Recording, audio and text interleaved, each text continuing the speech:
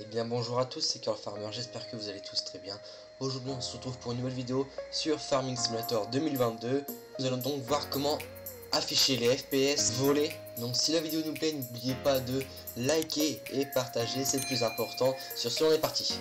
Donc en premier temps, il faudra quitter le jeu, puis vous irez dans ce PC. Après cela, vous irez dans Documents, My Games, Farming Simulator 2022 descendez et vous allez, vous allez dans Games. Vous faites double clic, bloc-notes, et voilà. Donc là, il y a plein de trucs partout, donc ne vous inquiétez pas, c'est normal.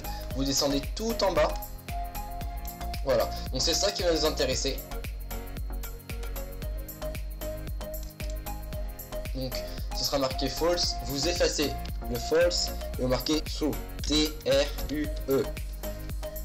Vous quittez, vous enregistrez et puis vous retournez sur votre jeu. Ok, donc une fois sur le jeu, vous avez juste à appuyer sur la touche 2, celle qui se trouve en haut, tout à gauche de votre clavier, en dessous de la touche échappe. Donc vous avez appuyé deux fois, donc après ça vous mettez un petit hashtag, et juste en dessous vous allez prendre les flèches de sélection, et donc pour zoomer, puis vous allez vous rendre sur, sur GS Caméra FOV 7, et vous mettrez par exemple 25. Vous faites entrer, et voilà, donc là vous avez votre zoom de fait. Donc c'est comme ça qu'on zoome avec la console. Et donc pour l'enlever, vous retournez sur GS caméra FOV 7 et vous mettez le FOV que vous voulez, 90 pour moi personnellement. Et donc pour voler, vous sélectionnez GS Player Fly Mode et vous faites entrer. vous quittez la console. Et donc pour voler, vous appuyez sur J puis A. Voilà. Pour redescendre, c'est la touche E. Et pour aller plus vite, vous sélectionnez Mage A E.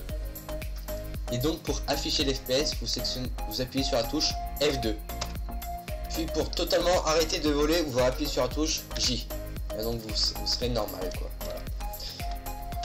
Donc j'espère que cette vidéo vous aura plu. Si c'est le cas, n'oubliez pas de partager, liker et commenter la vidéo. Ça fait vraiment super plaisir. Puis ça me, ça me témoigne de votre soutien. Sur ce, c'était Carlo. Ciao One, two, three.